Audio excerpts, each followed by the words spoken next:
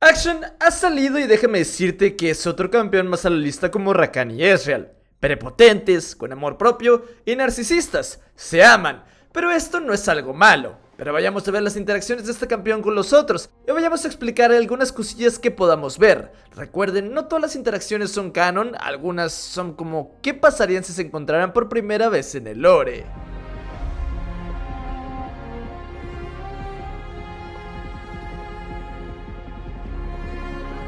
Esta capa no cumple con las normas de los centinelas, aunque tampoco el gancho, ni el boomerang.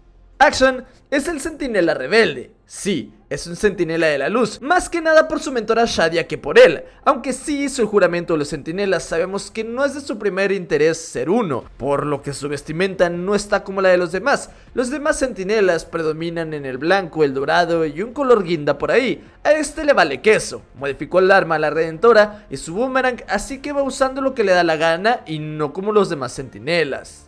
¡Te conozco! Eres el chico que robó el guantelete.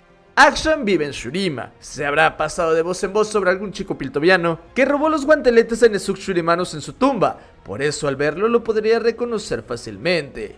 Vaya, pero si es el centinela serio, mira todas las reglas que estoy rompiendo. Como les decía, Action es un centinela rebelde. Sí, le gusta ser centinela, sí quiere matar espectros, pero sobre todas las cosas él quiere vengarse de los humanos malos. De hecho, hasta en su biografía dice que Action se resiste a las reglas de los centinelas y tiene opiniones diferentes, mientras que Lucian es todo perfecto, todo medido, todo correcto. Por eso es el centinela serio. Eres de Shurima y tienes un boomerang. Vamos y venimos. Aquí Action le está tirando todos los perros a Sivir. O sea que si la viera en el lore, este quería completamente enamorado ante la mercenaria.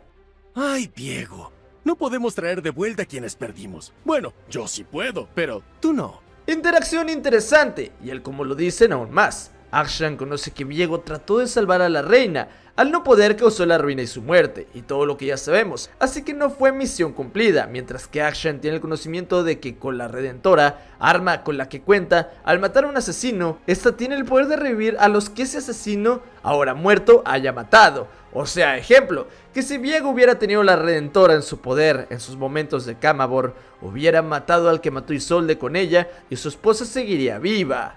Saludos, colega Centinela. Qué extraño que no seamos amigos hoy. Ah, bueno. Este es un audio para cualquiera de los demás centinelas. Aquí vemos como que Action es alguien aparte. Sí es parte de los centinelas, es uno de ellos, pero no es el grupo como tal y es dejado un poco de lado, porque él quiere, es muy independiente. Trabajas con Diego, ¿no? Rufián por asociación.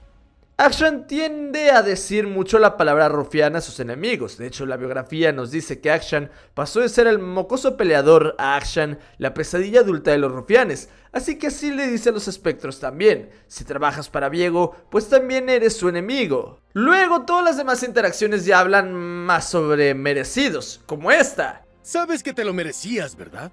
Porque Action es así, puede ser egocéntrico, rebelde, pero no hay nada más que le haga enojar que ver a personas malas que no paguen por sus actos. Entonces él busca darle su merecido. Así también sus demás líneas de voz son de cómo regresó a la vida y cosas de por ese estilo sin más importancia. Entonces con esto acabamos las interacciones explicadas de Action. Pensé que tendría más siendo honestos, pero me gustaron, me gustaron bastante las interacciones. De hecho hay una que ya no comenté como tal porque se me hizo que es como un churro como de broma, que es la interacción que tiene con Camille, que si le dicen que no se enganche, pero eso es cosa de broma nada más, cosa de un chascarrillo para el juego, no tiene nada que ver con el lore, entonces dejémosla de lado. Y me han gustado las demás interacciones, Así también en los próximos videos empezaremos a traer las interacciones entre sentinelas. Como ya sabemos, Bane como que tiene algo ahí con Graves, algo graciosón.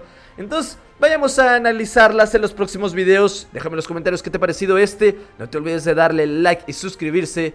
Y nos vemos hasta el próximo video.